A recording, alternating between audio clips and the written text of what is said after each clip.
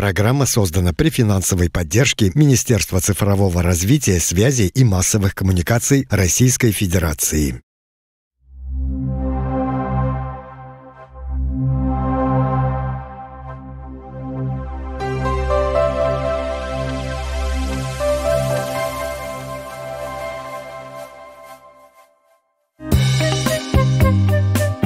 2023 год указом президента Российской Федерации объявлен годом педагога и наставника. Наставник. Кто он? Какой смысл скрыт за этим, казалось бы, простым словом? Свое человеческое тепло и свои знания наставники отдают людям, которые окружают их, будь то студенты, родители или коллеги.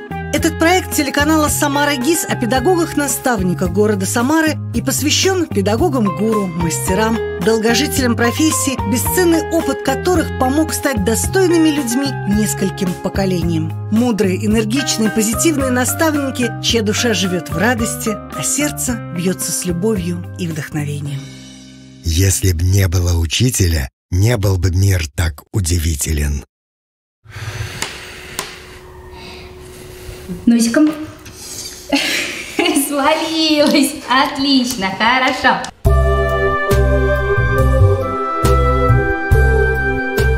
Есть в жизни каждого человека определенные этапы, когда наступают моменты принятия важных решений, которые определяют его дальнейший жизненный путь. Вопрос выбора будущей профессии именно такой. Спустя пять лет учебы в педагогическом университете, получив квалификацию учитель-логопед, Лилия Гатаулова реализовала самое главное желание – воспитывать и помогать детям.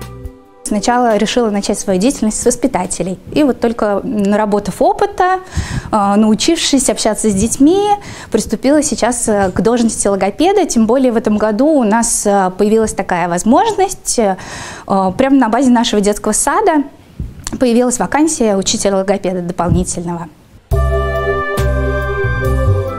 Детский сад для Лилии стал не только местом работы, но и вторым домом, в котором тоже есть и радости, и заботы, и проблемы. По морю чемодан, в чемодане пол диван, на диване вверх слон, кто не верит, выйдет вон. Вон, ага. Получается, с Тёмы начинаем, ладно? Держи. А потом в какую сторону? По часовой стрелке или против?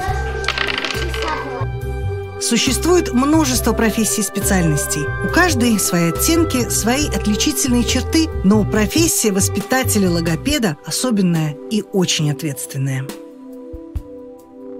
Я сталкиваюсь с различными трудностями, очень Самое трудное, на мой взгляд, это подойти к каждому ребенку со своим характером, со своими потребностями и найти к нему подход. А, в этом мне очень помогло изучение психологии в магистратуре. Я закончила магистратуру. А, и в дальнейшем научилась подходить, находить общий язык с каждым ребенком, с каждым родителем, заинтересовать детей таким образом, чтобы им было интересно.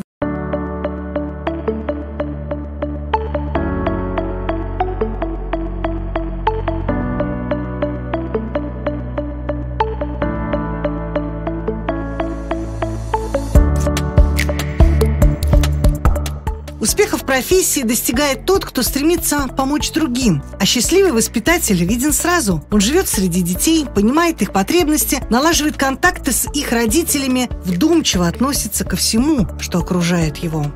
Ну и самое любимое в моей работе это все-таки, конечно, занятия в первую очередь.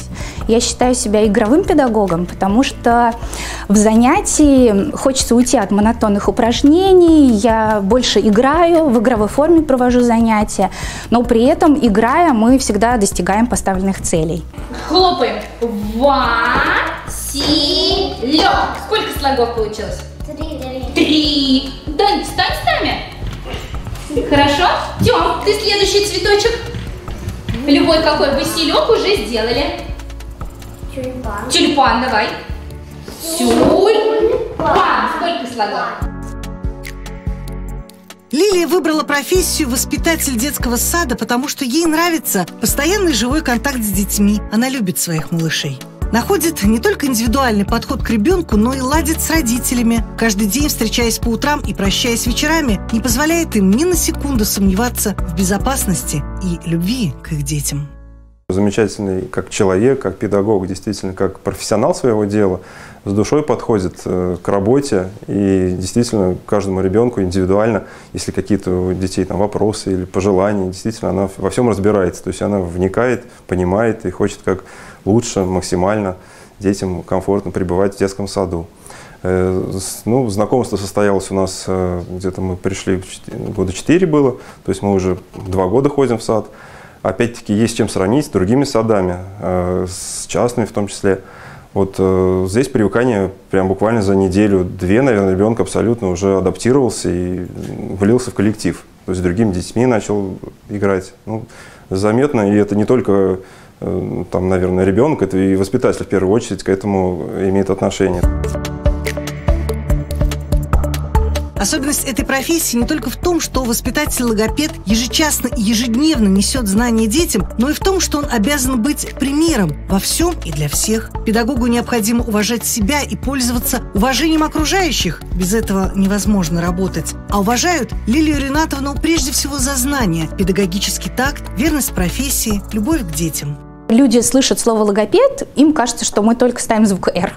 Но на самом деле логопедия – это большая пласт работы. Помимо звукопроизношения мы работаем над слоговой структурой, над развитием связанной речи, над лексикой, грамматикой.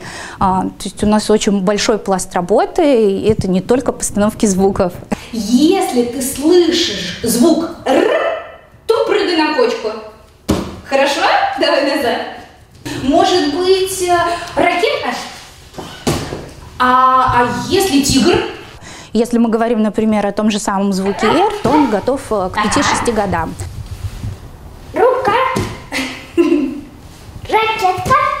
Если у ребенка к 5-6 годам этого звука нету, то уже следует его корректировать. Вот. Ранее мы этим не занимаемся. Но к окончанию дошкольного возраста в норме у ребенка должны уже быть все поставлены звуки. Поэтому если есть проблемы, то лучше в дошкольном возрасте этим заниматься. Иначе последствия на чтении и письме отражаются. Это дисграфия, дислексия и так далее. Множество вопросов Лили задает сама себе. Оправдает ли возложенные на нее надежды, обязательства? Сможет ли помочь детям подружиться с трудными звуками? Ведь одних нужно будет научить шипеть, других свистеть, а кого-то рычать. Как помочь ребенку, не навредив? За какую ниточку потянуть, чтобы распутать клубок невнятности речи? Какие методы и приемы применить к каждому ребенку? Будем синюю класть фигурку, говорить «ра». Скажи «ра». «Ра». Фигурку будем класть, будем говорить ла. Ла. Ра. Я понимаю, что несмотря на то, что я прохожу постоянно обучение, разные курсы повышения квалификации, я понимаю, что на данный момент в логопедии я еще новый человек, я не так много знаю, а, поэтому, сталкиваясь с какими-то трудностями, я бегу к своей коллеге, коллега мне обязательно помогает, привожу, привожу ребенка, помоги, вот, и с помощью коллег э, я думаю, что я успешно справляюсь, но расти есть еще к чему. Считаю, что Лилия Ринатовна очень хороший педагог, всегда готова идти на сотрудничество и помочь коллегам. В настоящее время я занимаю должность старшего воспитателя и могу сказать, эм, что Лилия Ринатовна успешно справляется с педагогической деятельностью, профессионально подходит эм, к проведению занятий э, с детьми, участвует в мастер-классах, в педагогических советах, целеустремленная, активная, оперативно подходит к решению поставленных задач. Очень большую роль в моей жизни играют наставники. И я благодарна, что я работаю именно в этом детском саду, потому что начиная с заведующей, со старшего воспитателя, с коллектива, у нас очень поддерживающий коллектив. И когда ты идешь на какой-то конкурс или сталкиваешься с какой-то задачей, в первую очередь веру в себя дают именно коллеги. Да ты что, ты совсем справишься, у тебя же здорово получается. Лилия Натан у нас работает с 2015 года.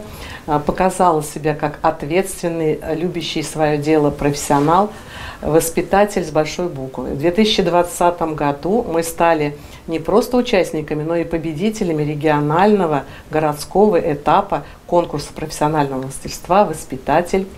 воспитатель. А, это заслуга общая всей команды, потому что это кропотливая, интересная, такая многогранная работа. И в ней принимали участие все и дети, и родители, и педагоги. Сейчас Лилия Ринатовна, он, это человек, который стремится к новым свершениям, постоянно развивается. И я думаю, что только вот знание детской психологии и любовь к своей профессии позволяет вот достигнуть таких результатов. Я горжусь тем, что в нашем коллективе есть такой педагог. И э, моя задача как руководителя – это развивать, мотивировать э, всех педагогов на такие достижения и свершения, э, чтобы создавать такие комфортные, психологически приятные условия для каждого ребенка.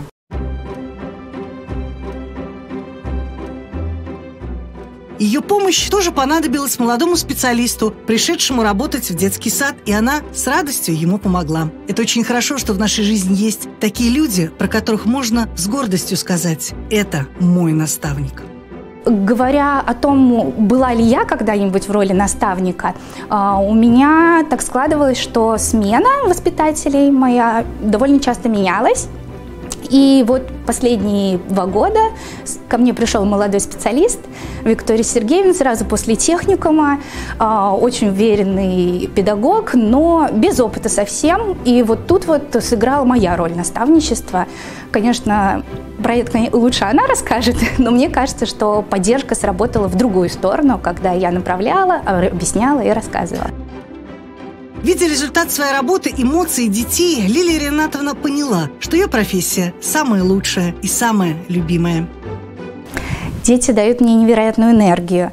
А, стоит пообщаться две минуты с ребенком, и ты заряжаешься как батарейка. А потом, когда ты видишь их достижения, их результаты, понимаешь, что ты работаешь не зря, что ты ночью вырезала пособие не зря, принесла сегодня, ребенок рад, счастлив, заинтересовался этой игрой. А, я думаю, что это единственный стимул, который есть у меня, это дети. Я счастлива безгранично, что я именно нашла свое русло, свое направление, что я приношу пользу, а, что дети рады со мной общаться, со мной заниматься, что есть какой-то результат моей деятельности. Я, безусловно, счастлива, что я педагог, и по-другому, думаю, не могло быть. Повезло ли Лилии с выбором профессии? Она с уверенностью отвечает, конечно, да. Если дети с удовольствием идут на занятия, значит, делает она все правильно. А еще Лилия Гатаулова знает, что ее воспитанники выберут разные дороги в жизни. Им обязательно пригодится красивая, грамотная речь.